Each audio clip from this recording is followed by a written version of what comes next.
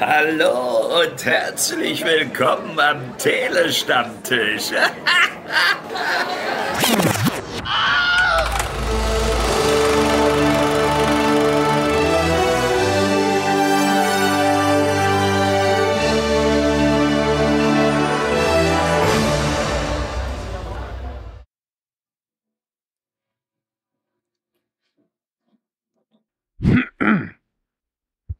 Do, do, do,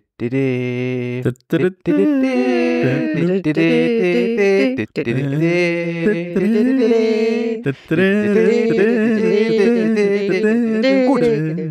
Annehmbar, würde ich sagen. Vielen Dank. Ihr habt gehört, an den Drums war der Dominik und an, an der Panflöte die Schlogger. Hallo, ihr zwei.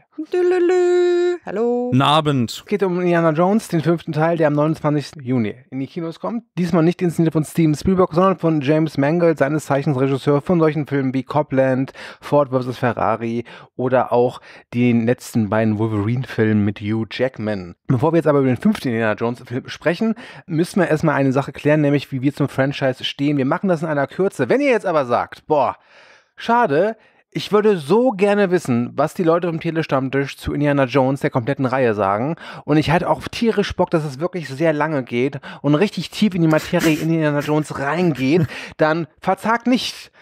Es gibt da einen Podcast, es gibt sogar zwei, glaube ich, Podcasts, die zum jetzigen Zeitpunkt, wo wir das hier aufnehmen, noch nicht erschienen sind, aber sie müssten jetzt schon online sein. Und der Dominik kann euch da mehr drüber erzählen. Das macht er jetzt. Ja, wer da gern mehr drüber wissen möchte, kann sehr, sehr gerne in unsere Retrospektive reinhören, wo wir bestimmt, boah, also zum jetzigen Zeitpunkt bin ich mit dem Schnitt noch nicht ganz durch, aber es dürfte an die äh, dreieinhalb bis vier Stunden Marke herankommen. Vielleicht wird es doch zweigeteilt, mal schauen. Ja, wir reden zu viert über alle vier Filme. Ein Team um Till, Lasse, David und meine Wenigkeit. Und da kann man dann auch hören, wie ich zu Indiana Jones stehe. Ich kann es aber abkürzen. Für mich ist Indiana Jones kein Held der Kindheit, weil ich die Filme erst wirklich, ich glaube, mit über 20 das erste Mal wirklich richtig gesehen habe. Die sind aber bei mir gereift wie guter Wein und mittlerweile mag ich sie sehr, sehr gerne, wobei ich auch generell eine Schwäche habe für diese Art von Abenteuergeschichte. Okay, dann soll ich gleich. Okay, ich, ich, ich nehme dir die Moderation ab und sag einfach, wie ich zu äh, Indiana Jones stehe. Soll ich das machen oder möchtest du gerne noch moderieren heute?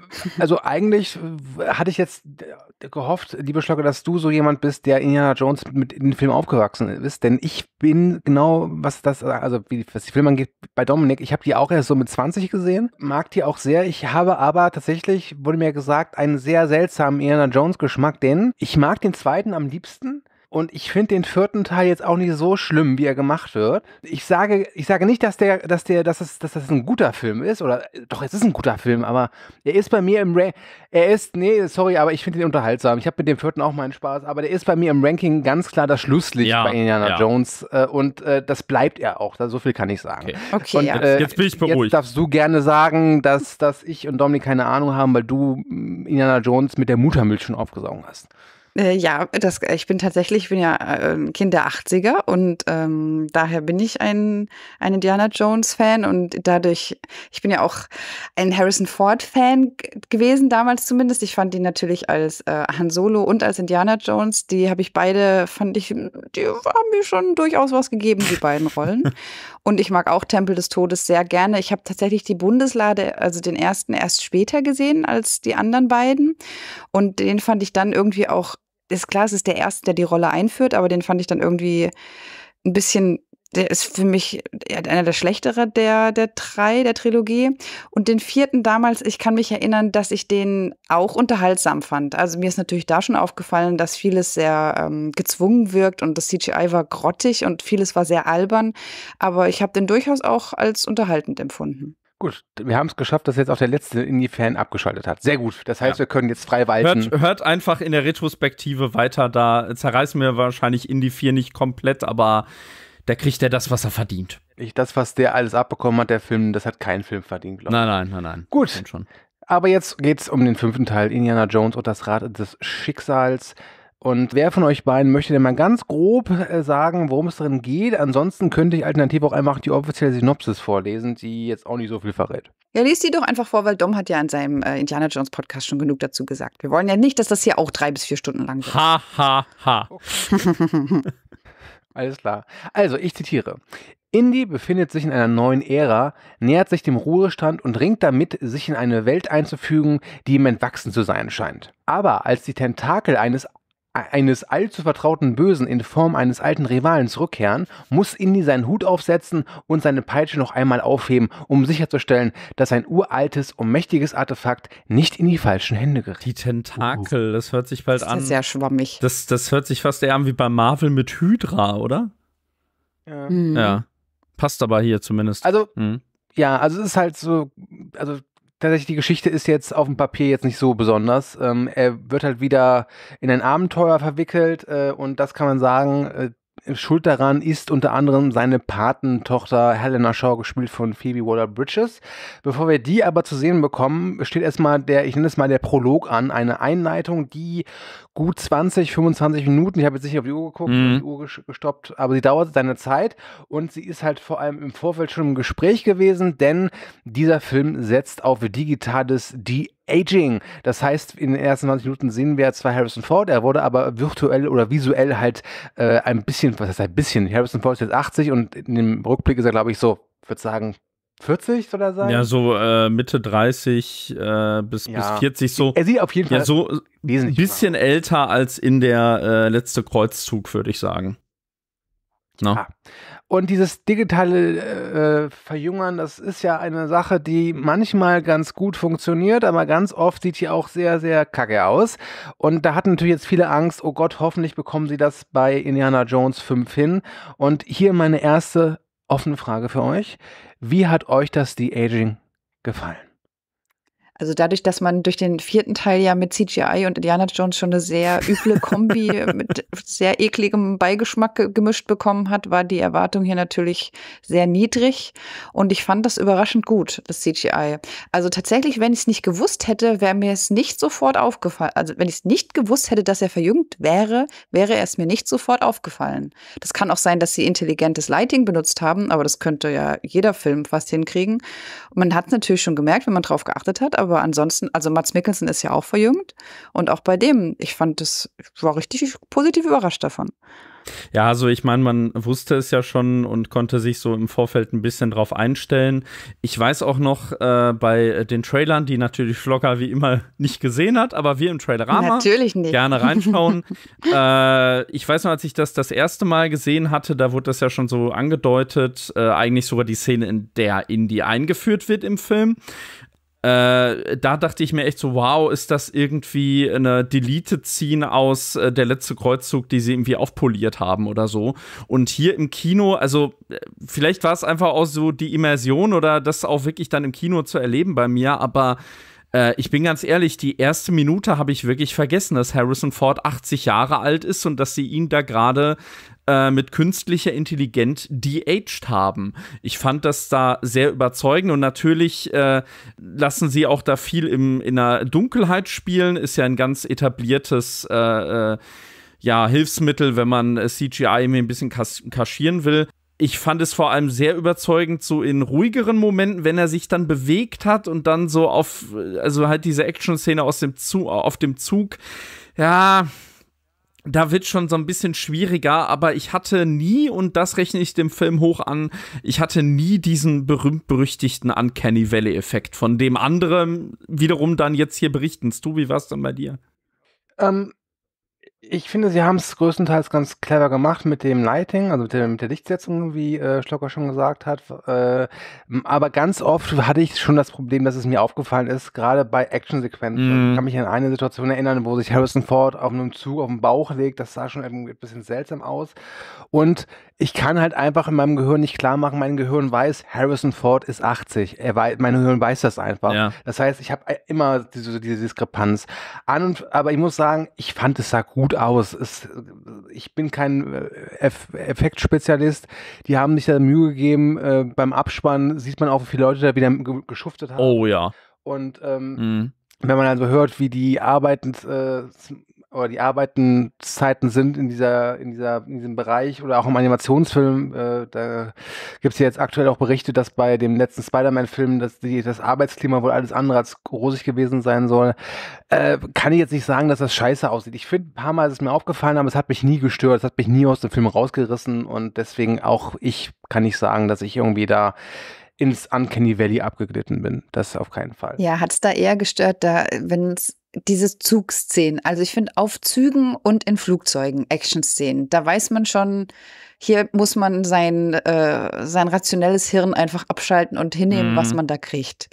Äh, auch, auch wie es aussieht, wie Physik ist. Und da, da frage ich mich immer so, da, da bin ich immer gespalten zwischen, oh nee, jetzt kommt wieder sowas, wo man weiß, dass, dass es einfach ist einfach Pulp, also ja. äh, Schund. Mhm. Oder sagt man besonders bei Indie, ähm, das ist halt Indie und das ist, das ist seine Essenz. Super, gib mir mehr davon. Wie fandet ihr das? Also pulpig ist ja die Essenz von Indiana Jones. Mhm. Äh, deshalb finde ich es auch immer übertrieben. Ich meine, das ist eine Abenteuerreihe, die, die sich orientiert irgendwie an äh, TV-Abenteuer-Serials der 50er.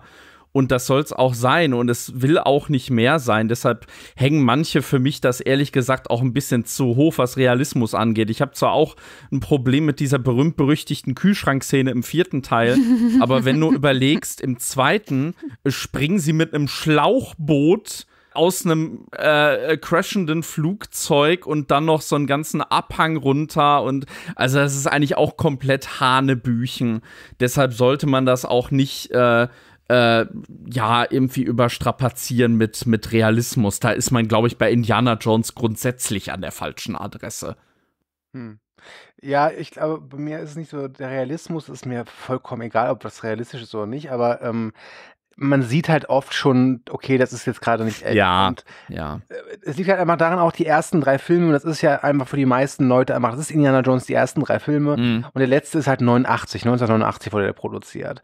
Und dann hattest du halt noch nicht die Möglichkeit, die du heutzutage hast. Ja. Ich glaube ganz stark, dass diese Filme, wenn die nicht in den 80ern gedreht worden wären, sondern in den 90ern oder in den 2000ern, sähen die vermutlich auch so aus. Also, ja. Also, also dieser, dieser, ich sag mal, dieser leicht klinische digitale Look. Und das ist eine der Sachen, die mir nicht so gut gefallen haben beim fünften Teil jetzt. Ich finde halt, dass der mir manchmal einfach zu klinisch aussieht. Ich fand das aber auch nicht störend. Also technisch kann ich dem Film nicht so viele Sachen vorwerfen. Ich finde, da machen die echt einen guten Job. Also er war aber weniger clean als der vierte. Ich finde, da haben sie, haben sie sich verbessert. Ja, das ja. stimmt. Das, ja. das stimmt, aber es gibt halt äh, eine Sequenz äh, gegen Ende, wo Indy irgendwie staunt und es sieht aber echt so ja. aus, als ob Harrison Ford einfach nur hinter einem riesengroßen Greenscreen steht und das äh, fand ich ein bisschen unschön. Aber ja, der vierte ist optisch um einiges hässlicher und der fünfte ist nicht hässlich. Der hat halt nur ein paar Momente, die mir jetzt etwas negativer aufgefallen sind. Aber nichts davon hat mich jetzt so rausgerissen, dass ich sage, Gott, der Film ist jetzt wirklich pottenhässlich. Das ist er nicht. Da hat der äh, James Mangold und sein Kameramann, ich glaube dieser Phoeben Pepper Michael, mit dem er, glaube ich, schon die Karten zusammenarbeitet, echt einen guten Job gemacht. Und es geht ja auch darum, dass ähm, das Gefühl wollen sie ja irgendwie Evozieren. imitieren mhm. oder evozieren. Ja. Das, das, das, der, das der alten Filme. Und das Problem ist, glaube ich, einfach, du kannst es nicht wirklich imitieren, weil dafür müsstest du, glaube ich, auch auf die alte Technik zurückgreifen. Und diese alte Technik nutzt halt einfach keiner mehr.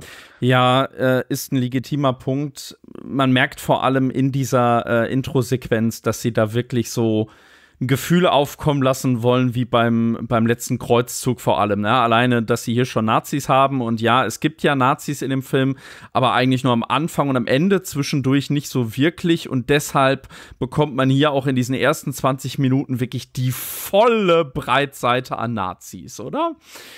Äh, und das sind ja auch bekanntlich Indies. Ich meine, das wievielte ist jetzt mal gegen Nazis? Ich glaube, das dritte, ne? Weil im vierten waren es ja Russen. Ja. Genau. Also ist jetzt Nazi. Also sie versuchen schon wirklich so ein paar Sachen in Anführungszeichen ähm, wieder gut zu machen, mm. im vierten Teil äh, äh, angestellt haben. Ein, eine Sache fand ich sehr ungelenk. Aber das wird viele freuen, da müssen wir nicht, nicht, nicht dringend darauf, eingehen. Äh, worauf ich jetzt gerne eingehen würde, ist für mich eines der Highlights, eine Sache, die ich wirklich, mit der ich wirklich großen Spaß hatte, nämlich die von mir zu Beginn schon erwähnte Phoebe Waller-Bridges. Leute mit Geschmack kennen sie vor allem aus der Serie Fleabag, könnt ihr bei Prime sehen, sehr zu empfehlen, großartige Serie. Und sie spielt halt jetzt Helena Shaw, Indies Patenkind, Patentochter. Mhm.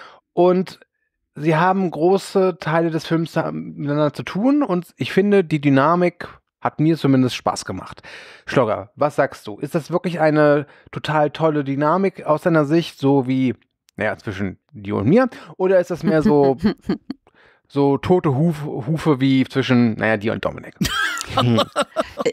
ich habe ja tatsächlich ähm, ähm, dadurch, dass ich gucke ja keine Trailer und ich in, informiere mich auch nicht so krass über neue Filme. Ich lasse mich einfach nur überraschen. Ganz äh, richtig schlechter Cineast, genau. Mhm. Und daher habe ich Fleabag, ähm, die habe ich dieses Jahr nochmal geguckt, die beiden Staffeln. Und die mag ich auch echt gerne. Ich finde es großartig, wie sie spielt und auch diese, wenn sie in die Kamera guckt. Und dann hat mir jemand gesagt, dass sie beim neuen Indiana Jones mitspielt. Also das habe ich erst vor ein paar Monaten erfahren und konnte das überhaupt nicht zusammenbringen. Ich konnte mir einfach bei äh, äh, ich konnte mir nicht vorstellen, wie das zusammen funktionieren soll, wie diese mhm. Schauspielerin in, weil sie ist halt in nichts gegen sie. Ich finde sie wahnsinnig attraktiv, aber sie ist jetzt halt keine klassische Schönheit, die ich in einem Indiana Jones Film gesehen habe. Mhm. Und auch ihre Rolle ist sehr auf eine eigene Art total emanzipiert, also ihre, ihre Art in Fleabag meine ich jetzt und fand es sehr positiv. Das dachte ich, das wird sicher richtig gut, weil sie allein durch ihren Charakter da einen guten Gegenpol bringt. Und das hat sie für mich auch geschafft. Ich fand, sie war sehr ähnlich wie ihre Fleabag-Rolle, außer dass sie halt nicht in die Kamera guckt. Also man erkennt sie da schon wieder. Und ich fand auch, hat sie auch mitgeschrieben, weil sie und ihr Mann schreiben ja auch, ne? Äh, hat ja, sie da Einfluss also gehabt? Sie, ist, sie hat keinen Credit bekommen im Drehbuch, aber es wird gemutmaßt, dass sie so als Skriptdoktor mhm. vielleicht ein bisschen äh, hinter den Kulissen aktiv war. Man muss ja auch sagen, man bekommt ja nur einen Drehbuch-Credit, wenn man etwas geschrieben hat, was die Handlung an sich verändert. Ja. Es kann also durchaus sein, dass sie gerade bei den Dialogen ein bisschen mitgeholfen hat. Ja. Genau, weil ich hatte den Eindruck, dass, dass man das gemerkt hat, dass viele Dialoge, die waren, die waren eben nicht palpig, sondern also schundig oder wie ein Actionfilm typisch oder Abenteuerfilm, die sind vielleicht halt nicht wichtig, die Emotionen, weil da passieren halt Dinge und damit die Action am Laufen bleibt. Und hier habe ich viel, was eben auch in Fleabag ist, mir haben die Dialoge auch ganz gut gefallen. Also ich habe, als ich aus dem Kinofilm gesagt, ich glaube, so, so ein kluges Zitat wie, der Film war langsam im Kleinen und schnell im Großen oder detailliert im Kleinen und ähm, wild im Großen, weil er mhm. hat irgendwie in den ganz kleinen Szenen, die eben das Zwischenmenschliche waren, hat der für mich sich eben ein bisschen Zeit gelassen und das nicht einfach nur hingerotzt, wie es in den Teilen davor war, was überhaupt nicht schlimm ist, aber es ist mir eben positiv aufgefallen und dann ist er aber trotzdem voll wild und wir scheißen auf Logik bei den Action-Szenen. Also es, es, war irgendwie eine interessante Kombi. Für mich hat es gut zusammengepasst. Und deshalb habe ich eben auch der Phoebe ähm, zugute, ich kam auch, ich dachte, das ist ihr Einfluss so ein bisschen. Ja, ist sogar wirklich gut möglich, dass die hier äh, auch ihre Finger im Spiel hatte. Ich meine, die wurde ja extra äh, rangeholt von äh, äh Daniel Craig beim letzten Bond, um da irgendwie die Dialoge ein bisschen aufzupeppen. Und äh, das ist ja auch kein Zufall vielleicht dann hier, weil äh, die Drehbuchautoren, die jetzt größtenteils hier das fabriziert haben, oder einer zumindest von beiden, G. Butterworth, äh, der war wiederum Skriptdoktor bei den letzten, äh, oder nee, bei, genau, bei Skyfall und Spectre. Und ich muss auch sagen, diese ganze Zugsequenz am Anfang, die erinnert durchaus auch an, an äh, nicht an Spectre, sondern an Skyfall, fand ich. Also da hast du ja auch eine Flucht irgendwie mit einem MacGuffin und dann geht's auch auf den Zug und das war schon recht ähnlich. Jetzt zu Phoebe Waller-Bridge, die hat mir insgesamt auch gefallen. Also da sind wirklich äh, Stellen, wo du das Gefühl hast, ja, da hat sie vielleicht auch noch mal irgendwie beim Skript ein bisschen Hand anlegen dürfen oder vielleicht auch mit Harrison Ford irgendwas improvisiert. Äh, fand ich ganz gelungen. Ich finde auch, also ich habe Fleabag zwar auch gesehen, ist zwar schon ein bisschen länger her, aber ja, ihre Art zu spielen ist durchaus ähnlich, aber sie ist trotzdem eine Figur, finde ich. Und äh, das ist dann allerdings eher so ein bisschen mein Problem. Äh, die Chemie zwischen den beiden mochte ich. Was für mich eher nicht so gut funktioniert hat, war ihr Charakter an sich. Dass sie zum einen sehr wissbegierig ist und zum anderen dadurch natürlich auch vielleicht wieder ein bisschen neunmal klug. Also dadurch hat sie vielleicht sogar so ein bisschen Elsa Schneider abbekommen äh, aus dem letzten Kreuzzug, charakterlich. Äh, was mir aber weniger gefallen hat, dass sie dann irgendwie auch äh, was in ihre Figur gesteckt haben, was man eher so aus den alten Filmen von Figuren wie äh, Belloc oder ganz fürchterliche Ray Winstone als Mac aus dem vierten Teil kennt. Also dieses von wegen, ach ja, ich kenne mich aus, aber am Ende bin ich ja eigentlich Kapitalistin. Ich meine, ich, ich mochte das zwar, das, äh, also generell mag ich das, wenn Figuren jetzt nicht so krampfig darauf getrimmt sind, dass man sie mag, ich könnte mir aber vorstellen, dass einige äh, Probleme mit ihr haben werden. Aber alles in allem fand ich sie sehr gut und insbesondere auch die Szenen zwischen ihr und Harrison Ford, da stimmte die Chemie. Ja, äh, das stimmt schon. Das ist ein gutes, äh, guter Einwand, den du hast mit diesem, wir sind, wir sind eben nicht that belongs in a museum, sondern äh, give me money, so mm. diese Einstellung. Wo mir für mich die Dialoge nicht funktioniert haben, ich fand dieses Kind, dieser Kinder-Sidekick, boah, nee, den habe ich nicht gebraucht. Ja. Ich mochte den tatsächlich. Hätte ich nicht gedacht. Ich habe nur relativ spät erst gecheckt, dass das ihr Sidekick ist. Mhm.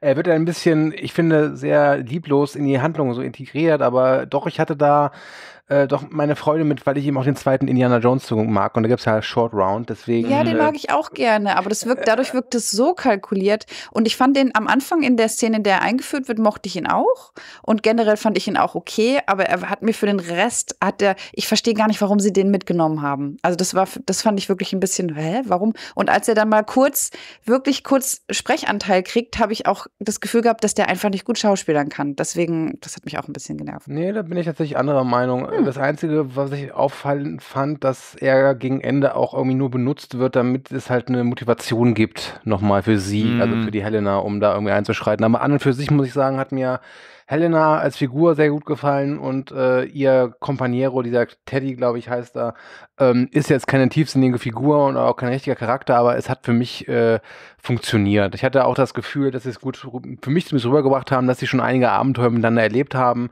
Ähm, von daher kann ich da jetzt den Kritikpunkt nicht so richtig, also ich kann ihn nachvollziehen, aber für mich hat er eine wesentlich geringere Gewichtung. Ich mhm. fand das ehrlich gesagt ganz, ganz nett.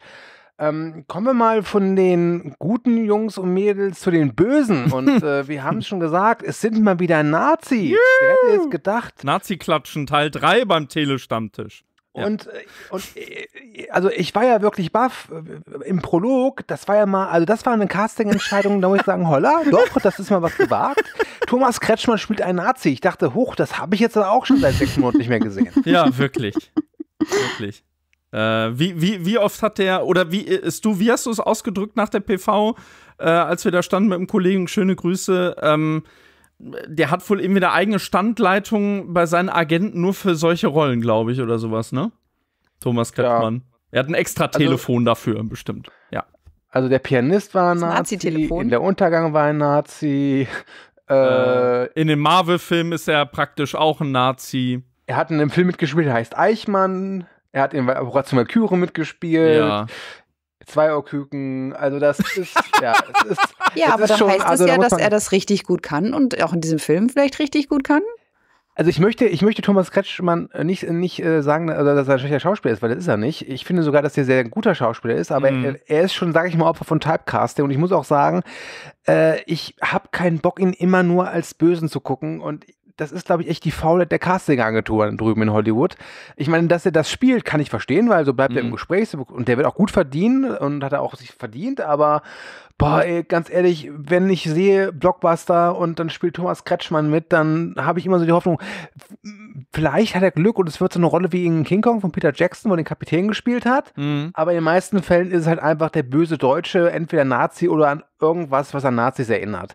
Ja. Ähm, muss sagen, bei Indiana Jones. Äh, Ach ja, er ja. wollte, er wollte wahrscheinlich mit dabei sein. Es ist ja auch eine relativ kleine Rolle. Äh, wir müssen ja dazu sagen, wir haben ja den Film im O-Ton gesehen. Und äh, ich weiß nicht, wie es euch ging, aber der Film fing ja an und plötzlich reden die also erst hört man es ja nur und dann sieht man es halt, dass die alle Deutsch reden. Und zwar nicht nur Thomas Kretschmann, sondern zum Beispiel auch Mats Mikkelsen, also auch im O-Ton. Und das fand ich schon interessant. Also ich meine, man weiß ja, dass Mats Mikkelsen durchaus, äh, weiß nicht, äh, Schlogger, ob dir das bekannt ist, äh, der hat ja tatsächlich mal einen Film hier in Deutschland gedreht, Die Tür. Äh, zusammen mit äh, Jessica Schwarz und da hat er sich wohl auch einiges an Deutsch ah, nochmal angeeignet. Gesehen. Krass, ja, okay. Hast ja, hm? habe ich gesehen, kann mich an nichts erinnern. Ähm, sehr vergessen. Ich meine, der ist ja auch Däne. Hm. Das ist ja jetzt nicht ich glaube, ja, ja, genau. Schwedisch ist im Deutschen recht ähnlich und Dänisch vielleicht dann auch. Ich weiß es allerdings nicht genau. Und man merkt schon, dass er einen Akzent hat. Aber ich fand, ich bin ja als Sprachenfan, klar, es ist jetzt keine Glorious Bastards, wo alle akzentfrei sprechen, aber es war schon, ich fand es schon schön zu hören, dass doch sehr viele da sehr gutes Deutsch und dann akzentfreies Deutsch gesprochen haben und dass auch viele mhm. Props korrekt betitelt waren, also dass da die kleinen Dosen mit Erbsen oder so, wo Erbsen drauf stand, ähm, dass alles richtig beschriftet war und da, da können wir auch aufs Prop-Design eh irgendwann nochmal zu sprechen kommen, aber da, das fand ich mit den Sprachen fand ich natürlich ganz cool wieder. Soll ich schon aufs so. Prop die Stille? Da ist eine Stille. Ich kann stillen, die muss ich sofort füllen.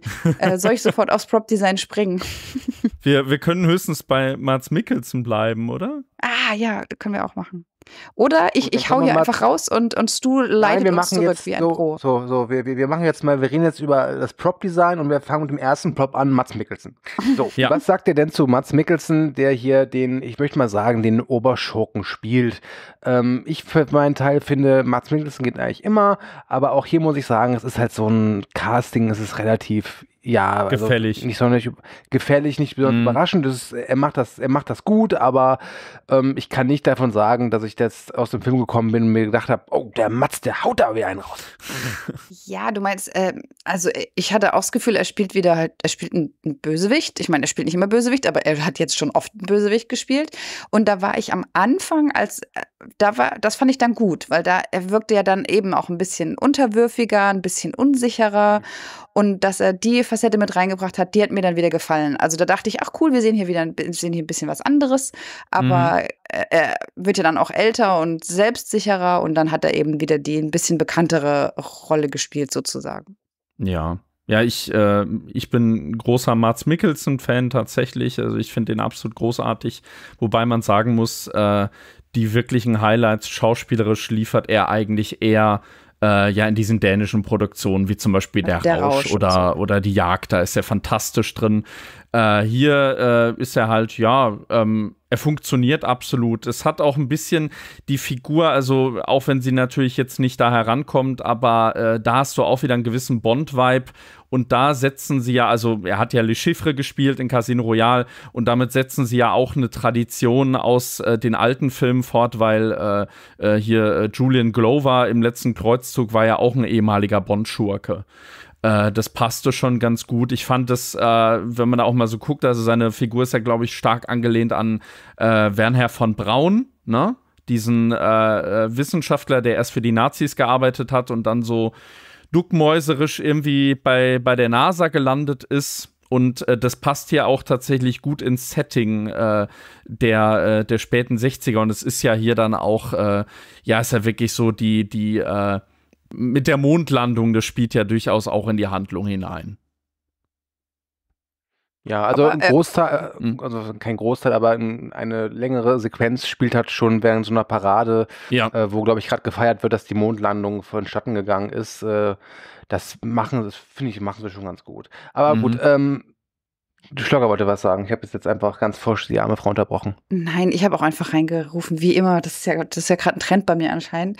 äh, ich wollte nur sagen, abschließend, er spielt es auf jeden Fall sehr gut. Also er hat halt eine solide, gute Leistung. Er ist ein toller Schauspieler, auf jeden Fall. Er ist nur einfach ein bisschen wenig zu sehen manchmal, finde ich. Also in der ersten Hälfte schon, aber in der zweiten Hälfte dieses wirklich auch sehr ja. langen Films. Aber ja. ich muss ganz ehrlich sagen, äh, wenn ich die Indiana Jones Filme mir zurück entsinne, alle, mhm. dann denke ich erst bei der beim sechsten oder, oder siebten Gedankengang an die Schurken. Ja. Also ich, ich, ich, kenne keinen Indiana Jones-Film und auch der vierte hat halt mit Kate Blanchett eine Oscar-Preisträgerin als, als böse mm. ganz vorne mit dabei. Mm. Aber selbst da, äh, da habe ich, verliere ich wirklich nicht sofort einen Gedanken an den Schurken.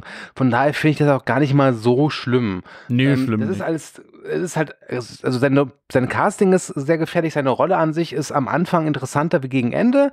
Denn ich finde es auch ganz schön, dass du am Anfang so ein bisschen das Gefühl hast, zumindest ich hatte das Gefühl, dass er vielleicht kein richtiger Böser ist, sondern mehr so einer, der halt irgendwie unter den Nazis geraten ist und versucht da irgendwie klarzukommen. Mhm. Aber an und für sich ist das kein Schurke, der zumindest mir jetzt groß in Erinnerung bleibt. Aber seien wir ehrlich, bei 90 Prozent von Franchise-Filmen ist das der Fall. Also die meisten Bond-Filme weiß ich nicht mehr, wer der Schurke ist. Bei ja. Marvel-Filmen fangen wir gar nicht erst mit an. ja, Fast and Furious, was ist da bitte der Schurke? Das Familiengericht, ich weiß es nicht.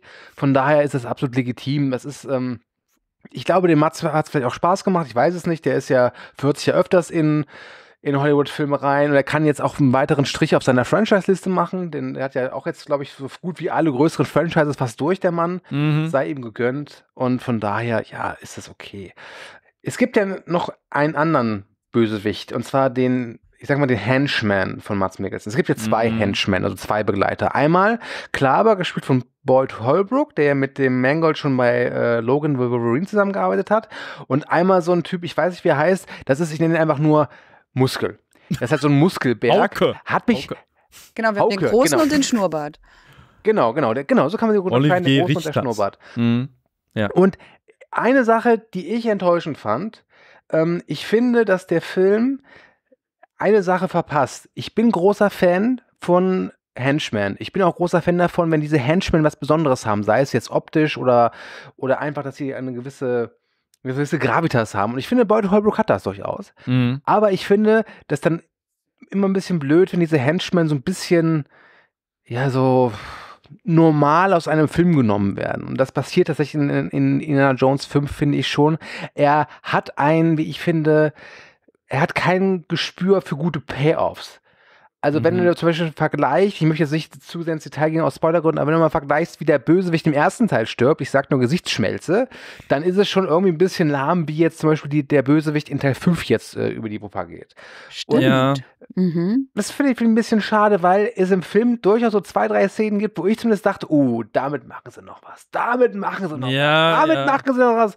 Ich sag nur Aale oder Riesen ähm, mhm. mhm. aber tatsächlich machen sie dann tatsächlich nichts draus. Und das fand ich sehr schade. Und das kommt dann zu meinem eigentlichen Kritikpunkt. Ich finde, dass der Film nicht so viel aus seinen Locations macht. Er ist wirklich äh, überall auf der Welt unterwegs. Klar, es ist ein Indiana Jones Film, aber äh, irgendwie hatte ich nicht das Gefühl, dass sich bei mir so ein bisschen so das Gefühl von Exotik einstellt. Wie war es bei euch? Ah, das ist ein interessanter Gesichtspunkt. Ja, jetzt wo mhm. du sagst, ist es halt mehr ähm, Quantität statt Qualität sozusagen. Mhm. Mhm. Ja, dass sie so aus den Settings nicht so viel machen. Also äh, man hat es ja schon im äh, Trailer gesehen, dass wir auch erstmals irgendwie eine, eine äh, ja, Unterwassersequenz irgendwie haben. Äh, ich muss jetzt nicht sagen, wo, wo sich das genau drum dreht, aber ja, da haben sie, also Stichwort Aale, äh, äh, einfach nur als Äquivalent zu Schlangen, aber wirklich viel machen sie daraus nicht. Das, ja, das, das wirkt so ein bisschen äh, halb zu Ende gedacht. Also nach dem Motto, ja, wir haben jetzt irgendwie Ideen für, für ein nettes Setting und das wird auch ganz, ganz gut aufgebaut, aber dann ist so, ja, jetzt sind wir hier und ja, was machen wir jetzt? Ja, ach ja, irgendwie, wir finden jetzt ein Äquivalent zu den alten Filmen von dem, was hier ist, aber so richtig was mit anfangen können wir irgendwie nicht. Aber das ist vielleicht auch generell eine Schwäche des Films.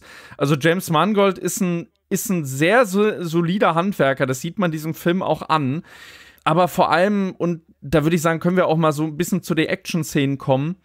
Die sind allesamt solide gemacht, aber sie haben alle etwas nicht, wofür Spielberg einfach äh, ja, äh, zum einen insgesamt berühmt ist und was vor allem ihn auch äh, in der Indiana Jones-Reihe ausgezeichnet hat, nämlich immer eine gewisse Verspieltheit, wie die Action inszeniert ist. Also selbst im vierten Teil hast du diese äh, äh, Verfolgungsjagd mit Matt Williams, also hier Shia LaBeouf und äh, Indy auf dem Motorrad, die ist wahnsinnig verspielt, ob es musikalisch ist, von der Kamera her, der Humor ist jederzeit präsent. Und hier, ich weiß nicht, es ist jetzt ja auch schon ein paar Tage, dass wir den Film gesehen haben, aber so richtig erinnern an sowas, also diesen, diesen Esprit und diese Frische und dieses Tempo. Äh, das habe ich hier nicht so wirklich wahrgenommen, oder wie ging das euch? Äh, doch, ich also also ich gebe dir da recht. Die Action fand ich da meistens nicht so erinnerungswürdig. Ausgenommen, es gibt eine sehr ähm, lange Verfolgungsjagd in Marokko mit einem Tuk-Tuk, mm. wo man sich jetzt nicht die Frage stellen sollte, wie schnell können diese Tuk-Tuks eigentlich fahren. ähm, die fand ich tatsächlich ganz, ganz, ganz spaßig, aber auch die kommt nicht an andere Action-Szenen äh, dieses Franchise ran. Aber es stimmt schon. Ich finde die Action, sie funktioniert, mhm. ist gut umgesetzt, aber es stimmt, es, es fehlt so dieses Verspielte. Ähm, außer halt eben, ja doch, diese Tuk-Tuk-Sequenz, die fand ich wirklich ganz, ganz spaßig. Aber auch da hatte ich so das Gefühl, so, ah, da fehlt noch so, so das letzte bisschen. Es, es hätte so, äh, so ein bisschen wahnsinnig sein können, wie zum Beispiel bei der äh, Tim und Struppi-Verfilmung von Spielberg. Mhm. Ähm, daran hat es mich ein bisschen erinnert. Ähm, aber es war von den ganzen Actionsequenzen auch wirklich die, die mir, also die ich immer noch im Kopf habe. Ich überlege nämlich gerade, was es noch für Actionsequenzen gab. Ich habe noch eine. Ähm, ich bin auf jeden ein. Fall mit dem Pferd. Also die fand ich schon ja, mir auch gefallen. Ja, wobei ich fand, ja, dass die, die und die Tuk-Tuk-Sequenz irgendwie ähnelten die sich zu sehr.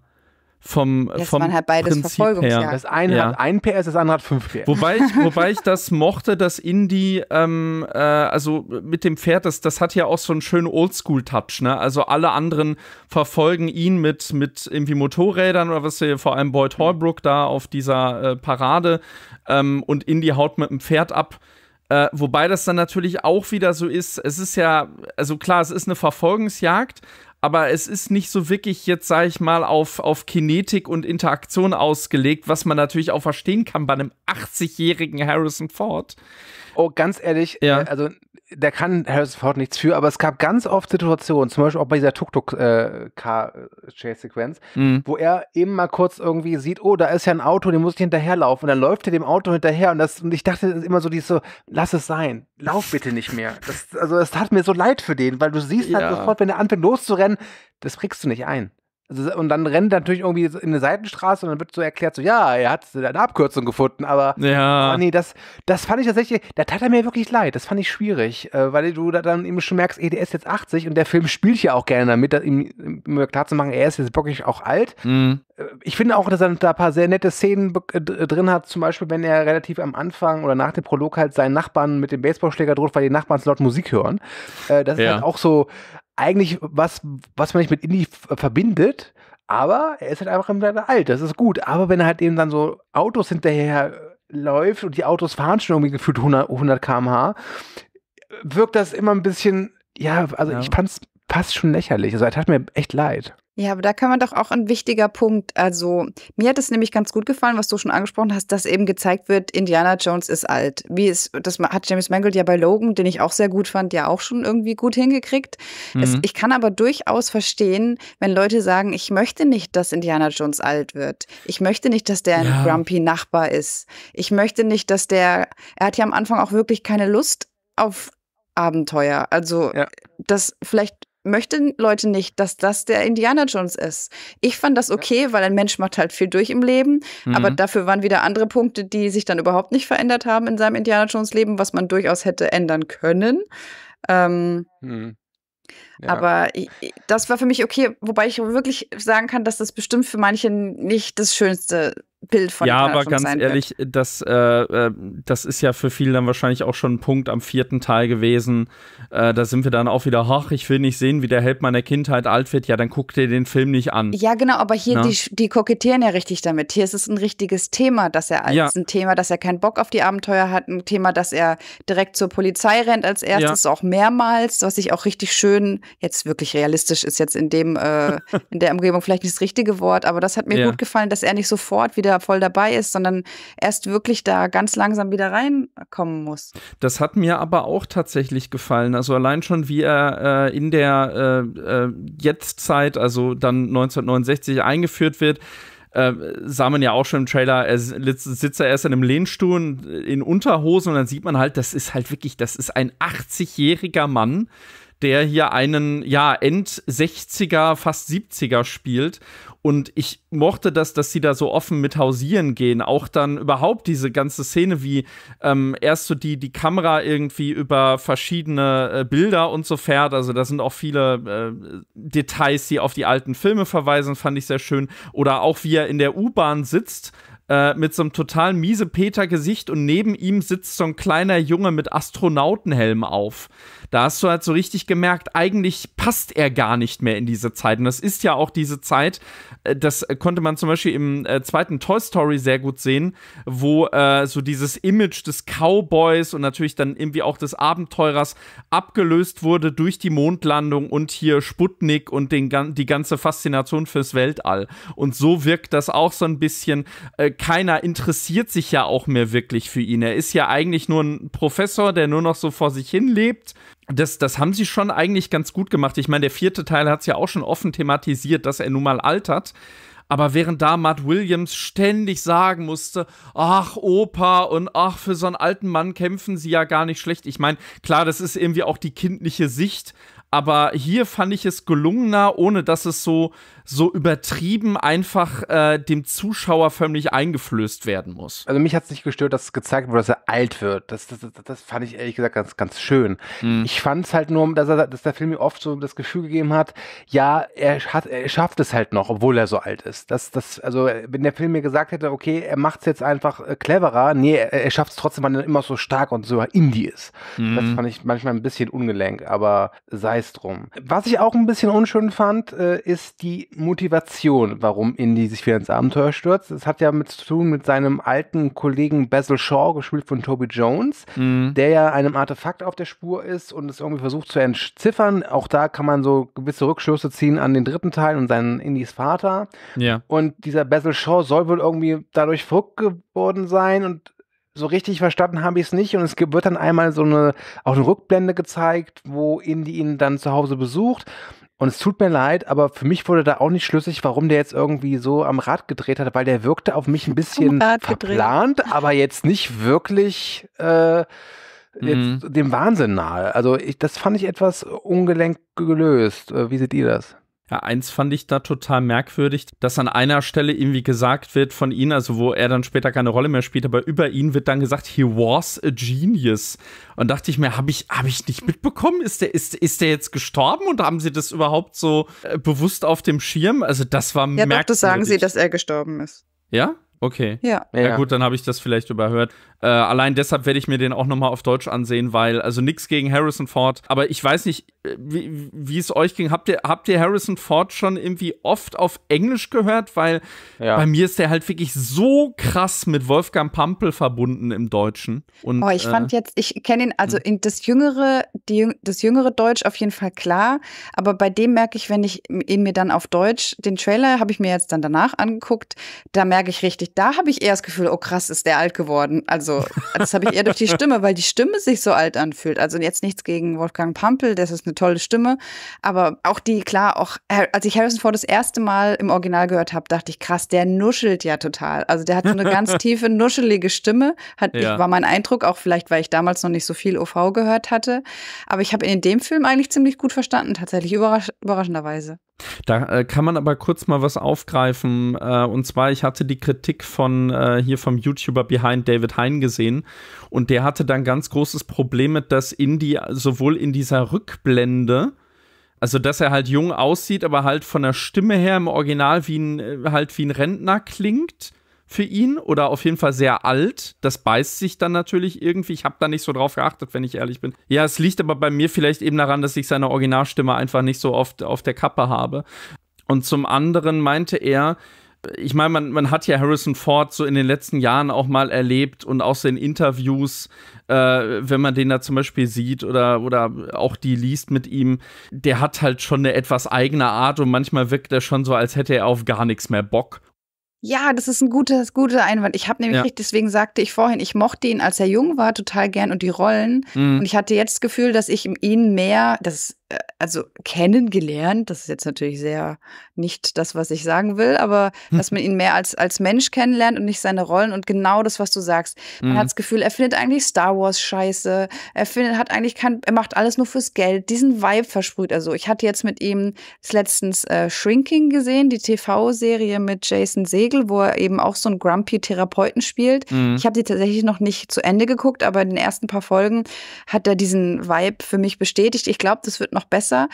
Und im Indiana Jones jetzt, in dem fünften, hat er das ein bisschen gut besser gemacht. Also er wirkte da, als hätte er ein bisschen Freude dran. Er wirkte eben nicht so wie, vielleicht einfach, weil er ein guter Schauspieler ist, ja klar. Aber Mhm. da hat er, habe ich mich ein kleines bisschen mit ihm versöhnt tatsächlich.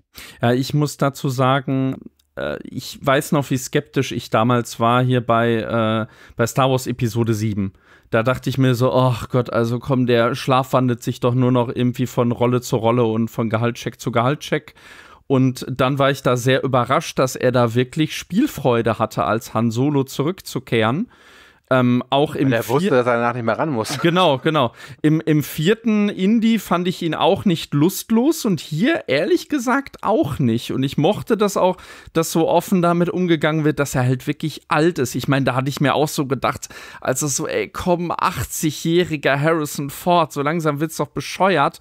Aber ich muss sagen, und spätestens, wenn er hier dann sein äh, äh, hier äh, Fedora auf hat, war das für mich einfach Indiana Jones das, das hat sehr, also spätestens als er dann äh, wirklich Hut, Peitsche und, und äh, Lederjacke hat, war das für mich so, ja, Indie ist back, muss ich sagen. Er hat da auch noch immer seinen Charme. Ich muss auch sagen, also ich, ich kann diese Lustlosigkeit bei der Figur Jones auch irgendwie nachvollziehen. Überleg mal, du hast irgendwie 30 Jahre lang die krassesten Abenteuer erlebt Mhm. und wirst jetzt abgespeist mit so einem komischen äh, Rentengeschenk, was wahrscheinlich 3,50 Dollar wert ist und das war's dann. Und keiner erinnert, erinnert sich an dich. Deine, deine Artefakte, die du gefunden hast, die sind kein Museum, die werden irgendwo eingelagert. Ich fand das irgendwie passend, dass dieser ältere Indiana Jones mal so griesgrämig ist. Ich glaube, ich wäre genauso. Ja. Ja, du, da musst du halt auch noch mal ran, ne? Sollen wir dann auch noch drüber reden? Das machen, können wir völlig spoilerfrei machen, wie wir das Ende fanden? Das ist äh, eine sehr gute Idee. Äh, Mhm. dann, das steht nämlich noch auf meiner Liste. Danach steht nämlich hier äh, Ende, Fazit. Super, dann machen wir mal das Ende. Und ich sehe es genauso wie du, Schlocker. Da müssen wir jetzt, glaube ich, nicht spoilern. Äh, was man sagen kann, ist, ist, das Ende wird, glaube ich, Leute auch wieder, also die Zuschauer spalten. Ich glaube nicht so Mhm. krass wie im vierten Teil. Ähm, ich für meinen Teil fand's gut. Ähm, was heißt gut? Ich fand's passend. Das hat mich nicht gestört, denn wir reden hier wie gesagt, vom Franchise. Im dritten Teil geht er in eine Höhle und da ist ein Ritter, der da tausend Jahre in der Höhle hockt. Also, ne, das Mhm. ist halt, wie, wie, wie will man da Re Re Realismus messen? Ich finde das passend, was da passiert ist. Ich muss aber sagen, dass das Schönste an dem Film für mich wirklich das Ende-Ende war, weil ähm, der Film so nett zu der Figur Indiana Jones ist, dass er ihm halt wirklich ein schönes Ende spendiert. Also Mhm. es wurde ja im Vorfeld gemunkelt, okay, es wird hier das letzte Mal sein, dass Harrison Ford die Rolle spielt. Und wenn man auf sein Alter guckt, macht das durchaus auch Sinn, aber sagt niemals, niemals. Nee, sagt niemals, niemals, ist, ist ja egal. Ich finde es aber irgendwie schön, weil ich aus dem Kino gekommen bin, hat das Gefühl so, okay, Indiana Jones hat jetzt so seine Ruhe gefunden. Das heißt jetzt nicht, dass er stirbt, oder vielleicht stirbt er doch, wir wissen Mhm. ich meine, wir wissen es, aber wir sagen es euch nicht. Ich fand es aber trotzdem schön, dass es war ein, ich fand, das, das Ende fühlte sich für mich respektvoll an der Figur gegenüber. Ich mag es einfach, wenn man eine Figur ziehen lässt. Wenn man einfach eine Figur ziehen lässt und sagt, pass auf, äh, hier äh, ist das Ende für, in dieser Geschichte und jetzt Mhm. kannst du halt eben dein Leben leben und wir lassen dich zie- ziehen. Und so hat sich das für mich angefühlt. Das fand ich sehr schön. Ja, gut, bei dem Franchise jetzt äh, von wegen Helden ziehen lassen, da kann man dann hier vielleicht sagen, besser spät als nie, ne? Also wie gesagt, es ist Disney. Wir wissen nicht, was passiert, wenn der jetzt irgendwie drei Milliarden macht. Dann ist aber sehr sicher, Ja. dass Ford mit, mit, mit 87 nochmal den Fedora-Hut aufsetzt. Ne? Ist es denn eure Prognose, dass der Film erfolgreich sein wird? Äh, Ah. Ersten Prognosen zufolge soll er gar nicht mal so erfolgreich werden. Mhm. Ähm, aber Prognosen sind halt Prognosen. Aber ich für meinen Teil glaube, dass der vielleicht unter den Erwartungen bleibt, aber wahrscheinlich für Disney dann letztlich doch den einen oder anderen Dollar erwirtschaften wird. Na, der ist halt wirklich, ich weiß nicht, ob ihr äh, gehört habt, aber der ist ja wirklich schweineteuer gewesen. Der hat ja um die 300 Millionen verschlungen. Und die Prognosen sind wirklich nicht sonderlich hoch. Da ist aber jetzt auch die Frage, so generell mal auf äh, Indie bezogen, ob da überhaupt noch, also ich meine, wer, wer geht da jetzt rein? Da gehen Nostalgiker rein, aber so wirklich jetzt so wahnsinnig viele Neueinsteiger. Ich meine, man muss bedenken, das ist eine Figur, die zurückgeht bis in die 80er Jahre und es ist die Frage, wird ein heutiges, junges, hippes Publikum sich äh, äh, einen 80-Jährigen als Abenteurer ansehen? Wie seht ihr das? Hat Schlocker doch gemacht. Schlunger ist jung und hip und hat ihn geguckt. Ja. So. Ja, aber ich bin ja auch ein Fan. Also ja. klar, ich glaube schon, dass dann, wir sind doch gerade die Generation, die viel Kohle für Nerd-Scheiß ausgibt. Und das ist auch die, die sich diesen Film angucken. Ja, ja. Also außer die, die schon durch Teil 4 geprellt waren. Genau. Mhm. Ja, abseits dessen, vielleicht hat dann, ja, also ich meine, die Prognosen sind nicht so hoch. Ich, ich bin gespannt, äh, äh, wie viel der einspielen wird. Ähm, der hat ja auch leider, dadurch, dass er schon relativ früh in Cannes gezeigt wurde, ja auch ziemlichen Dämpfer gehabt, was so die ersten Stimmen anging. Ja, gut, aber aber, aber schlechte Kritiken oder mittelmäßige Kritiken haben jetzt nicht unbedingt dafür gesorgt, dass äh, Filme weniger einspielen. Das muss man mal äh, auch nee. sagen. Was wir aber noch gar nicht richtig besprochen haben, ist das Ende, Just das gefallen. Ja. Weil äh, da waren wir eigentlich dran. Äh, mhm. Und vielleicht können wir dann auf die Zukunft des Franchise danach mal zu sprechen kommen und gehen jetzt weiter erstmal über das Ende. Und Dominik, wenn du gerade in der Leitung bist, wird dir das Ende gefallen?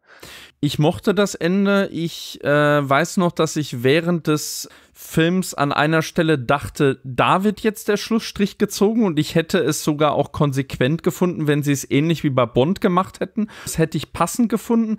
Auf der anderen Seite muss ich aber sagen, dass mir gerade das, das im Intimen und im Kleinen das Ende bei dem Film sehr gut gefallen hat. Und sie haben ja auch, also es ist jetzt zwar keine Riesenüberraschung, was sie dann da machen, aber es ist schöner und fühlt sich für mich auch verdienter und runder, endgültiger, stimmiger an als äh, bei Teil 4 zum Beispiel.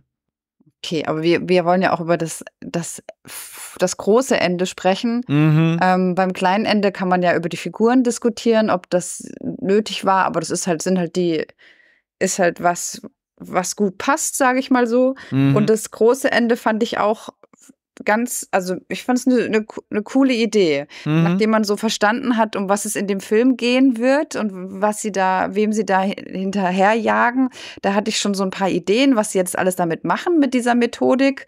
Ich hatte durchaus wahrscheinlich, so wie, wie man als überheblicher Filmegucker manchmal denkt, auch bessere Ideen, als es dann gemacht wurde im Film. Aber ähm, das fand ich eigentlich eine ganz süße Sache, die sie daraus gemacht haben es wird, es wird die Gemüter spalten und es hat es ja auch schon in Cannes. Mhm. Ich glaube aber, dass der Backlash nicht ganz so krass ausfallen wird wie bei äh, Teil 4 mit den, mit den Aliens.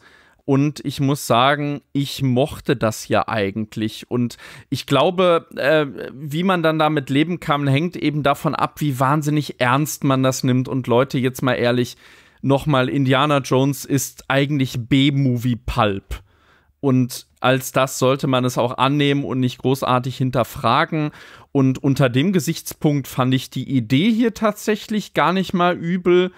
Und ja, was sie draus gemacht haben, kann man sicherlich in Teilen drüber streiten. Ich mochte das, ich habe es auch gar nicht mal so sehr kommen sehen und äh, für sich betrachtet hat es für mich funktioniert. Okay, mir ist noch eine Klammer eingefallen zum Prop-Design. Äh, mhm. Das fand ich nämlich ziemlich cool vor allem auch bei dem Unterwasser. Äh, ich, ich hau das nur ganz schnell rein, damit wir es noch haben, damit ich das für mein Gewissen noch rausgehauen habe. Das äh, Unterwasser, das sah alles cool aus. Ich finde, es war nicht ultra clean. Es war wirklich, da schwamm Zeug durchs Wasser. Die, die Sachen, die sie da finden, sahen wirklich aus, als hätten die da schon ewig unter Wasser gelegen. Da war ich wirklich beeindruckt. Und auch was sie da finden. Mir, das wollte ich nur kurz noch sagen, dass ich die, die Props und alles, das sah wirklich schon, das war mehr handgemacht und nicht so viel CGI. Es war nicht ultra clean. Das, das fand mhm. ich auch noch gut. Ja, ultra clean äh, ist der ganze Film einfach nicht so. Also, äh, Stu hat ja schon gesagt, der Look stört ihn so ein bisschen. Äh, für mich war das so ein bisschen, also es, es war jetzt nicht so ultra digital und clean wie der vierte Teil, auch nicht so schön haptisch und, und grobkörnig wie die alten Filme.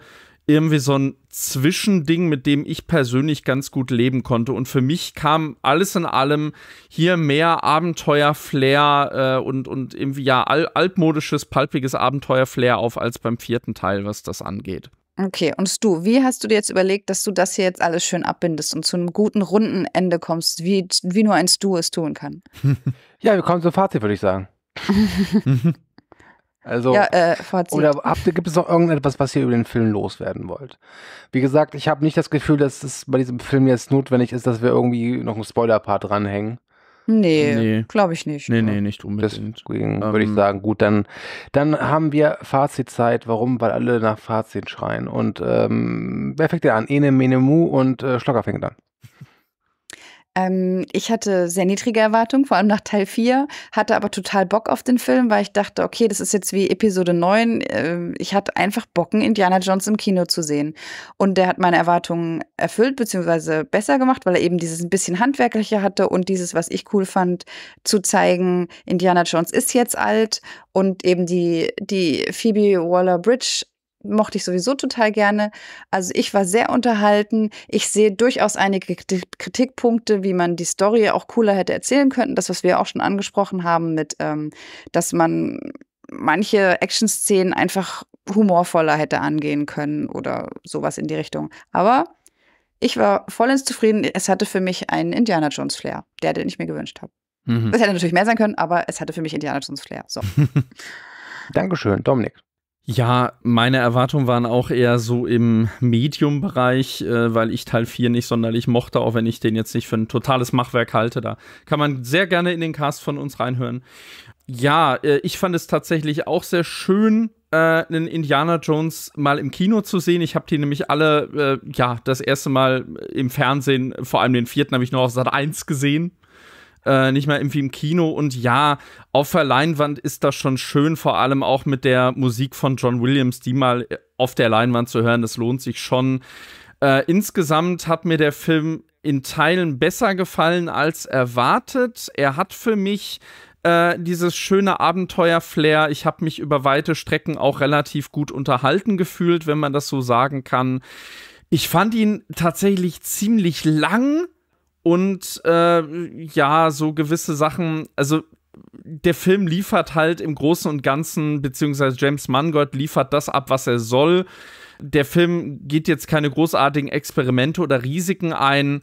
Und für den fünften Teil mit einem 80-jährigen Harrison Ford ist das eigentlich noch äh, ja recht gelungenes Unterhaltungskino. Man darf jetzt nur nicht mit der Haltung einfach drangehen, das muss jetzt unbedingt wieder mindestens an die ersten drei Teile heranreichen. Es ist, glaube ich, utopisch.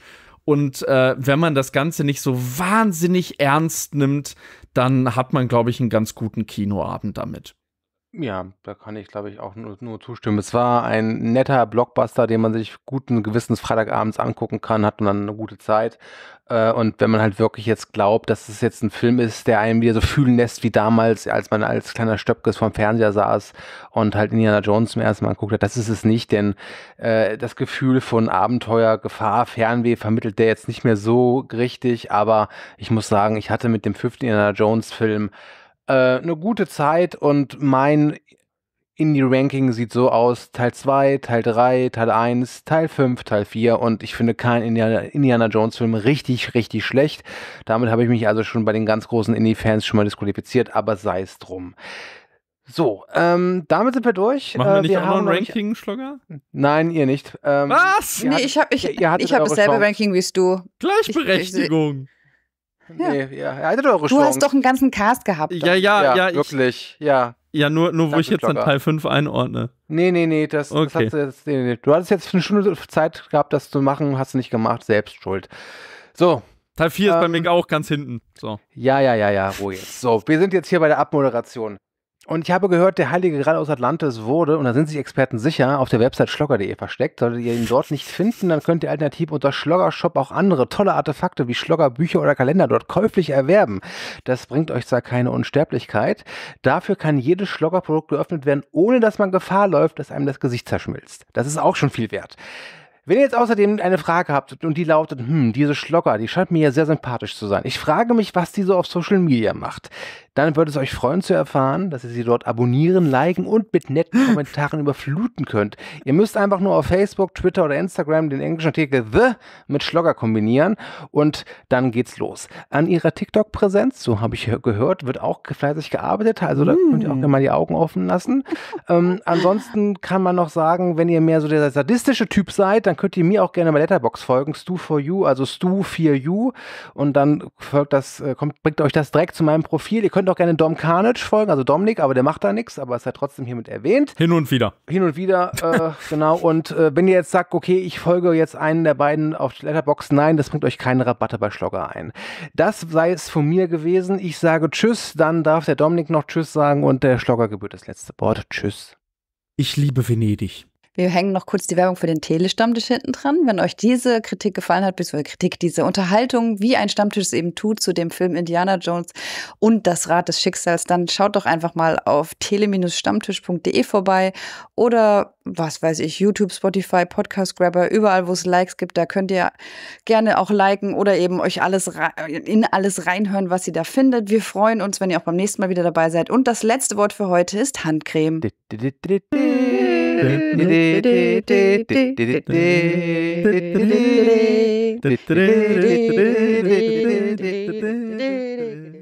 Sehr geehrte Damen und Herren, wertes Publikum, liebe Hörende, vielen Dank für eure Aufmerksamkeit und Zeit. Ich hoffe sehr, euch hat gefallen, was ihr gerade gehört habt.